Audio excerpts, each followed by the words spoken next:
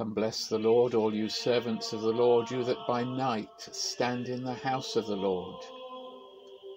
Lift up your hands towards the sanctuary and bless the Lord, the Lord who made heaven and earth.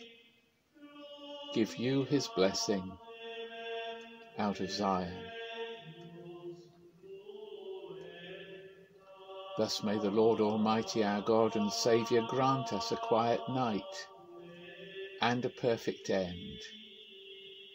For our help is in the name of this Lord, who made heaven and earth.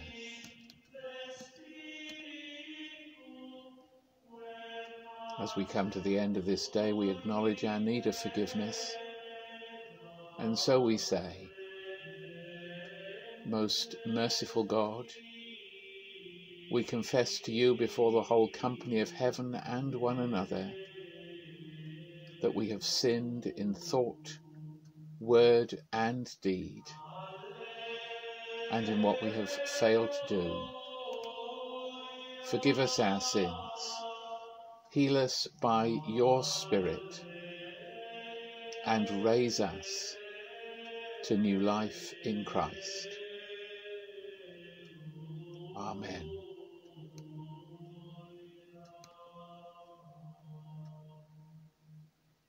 With the confidence that our requests are answered, we say before the ending of the day, Creator of the world, we pray that you with steadfast love would keep your watch around us while we sleep.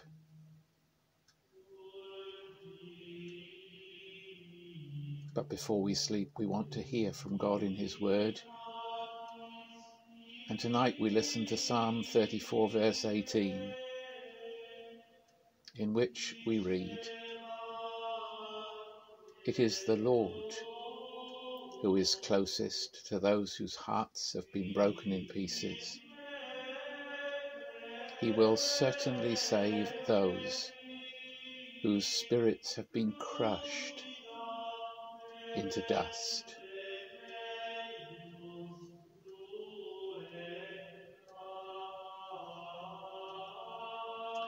Sometimes our lives seem broken into a thousand pieces, with no prospect that recovery and repair is possible.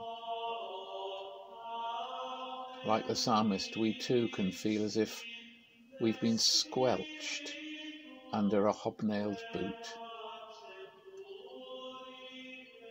What comfort then to know there is one closer than the dearest of our friends and loved ones, and one who can and will in his time fully restore us.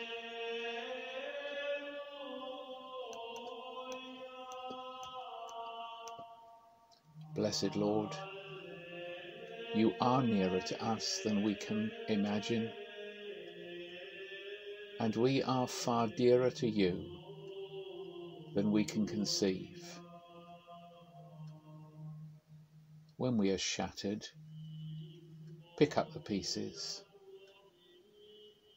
When the life is squeezed out of us, please, please be our hope and our deliverer.